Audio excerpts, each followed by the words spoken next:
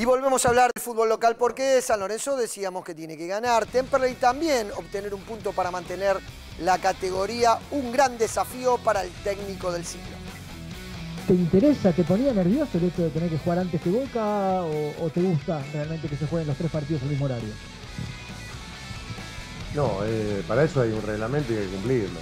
Pero después nosotros tenemos que ganar. No importa cómo salgan los demás. Así que vamos a tener enfocado únicamente en nuestro partido. Después yo creo que los reglamentos, los reglamentos se han eh,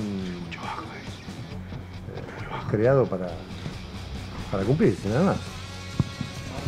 Eh, en cuanto al equipo, eh, si no ocurre nada raro, y esperemos que no, va a ser el equipo. Hoy estuvimos también trabajando algo en la parte táctica también, con el mismo equipo que, que jugamos contra Atlanta, eh, con dos puntas, con Matos y, Cauteruccio, eh, con Blanco Villalba, con Mercier Kaliski y la línea de cuatro de siempre, con Torrico. Preguntarte si que se demore tanto la reunión te tiene un tanto intranquilo. No, para nada.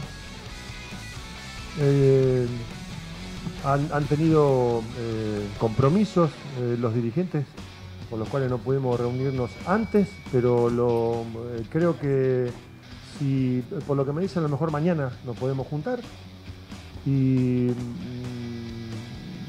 con la relación que hemos tenido siempre eh, encararemos la reunión. Va a ser una, una buena reunión como siempre ha habido, pero no, no estoy para nada intranquilo.